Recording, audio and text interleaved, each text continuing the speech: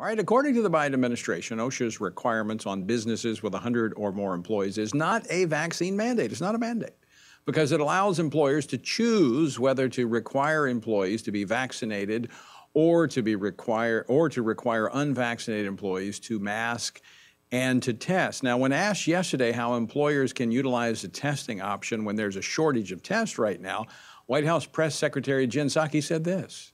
Remember what the objective is here. The objective is to make workplaces safer, to provide more security to people. Uh, if you look at the uh, data that just came out this morning, JOLTS, that was a shout out to Bloomberg. They'll get that. They'll get that reference. Um, data that came out today. There are still many people who are fearful about going back to work. That is one of the reasons why it's important to put in place these requirements. Well, if people are afraid to go back to work because of COVID, will vaccine mandates make people less fearful, considering that the Omicron variant, which is by far the most dominant right now, can spread to both the unvaccinated and the vaccinated?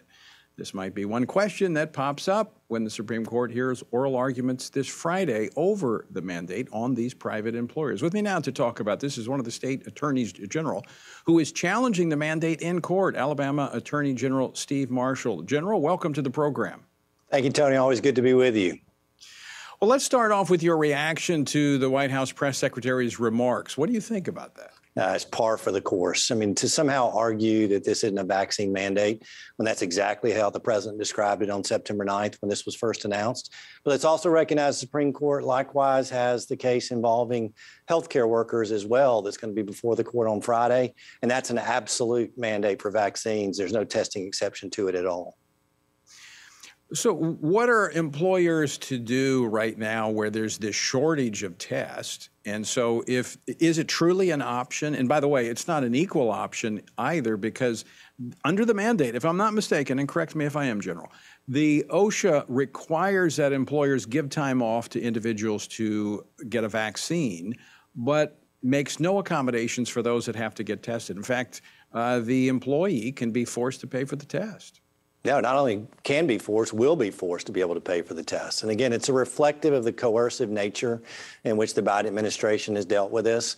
Uh, but yet, it's again not surprising you had a president that uh, before he took office said that federal mandates for vaccines were inappropriate. You heard him two weeks ago discuss the fact that there is no federal solution uh, to dealing with this issue. It's one of a state matter. Uh, but yet, they continue to push these issues moving forward. Frankly, we've been very successful, all but one decision with the Sixth Circuit thus far in fighting the OSHA mandate, the healthcare workers, the Head Start victory that we just had last week, uh, as well as what we've seen on federal contractors. I'm very confident that the Supreme Court will see through the fallacy of the Biden administration's arguments and restore us to this idea that we're a republic where liberty matters and not one where we're akin to a monarchy in which uh, one rule can dictate what goes on across our country. Yeah, I think you're right, General. I think the scoreboard, when you look at it, uh, the, the numbers are for the state attorneys general who are defending the Constitution. So far, no points for uh, the president in his mandate. What are some of the arguments you anticipate uh, hearing Friday from the Biden administration defending these mandates? Well, I think it's what you heard from the White House spokesperson just recently that somehow or another this is going to provide uh, greater safety, for example, in the workplace. When the reality, Tony, is there's a greater risk of contracting some form of COVID from the, the dinner table at home with family or around friends than there ever is in the workplace itself.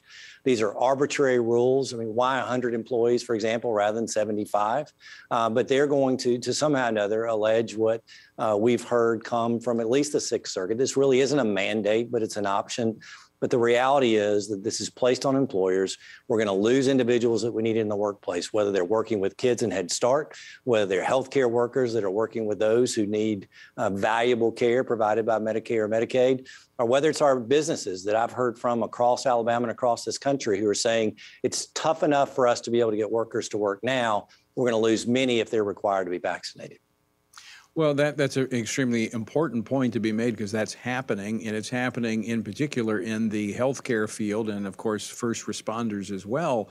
But when you look at what the president, uh, the Biden administration, I should say, has claimed that this is about keeping Americans safe and healthy, that's why we're doing this. But when you're driving healthcare workers out of the profession, creating shortages, how's that making Americans healthier and safer? That's the great question. It's one that frankly they can't answer.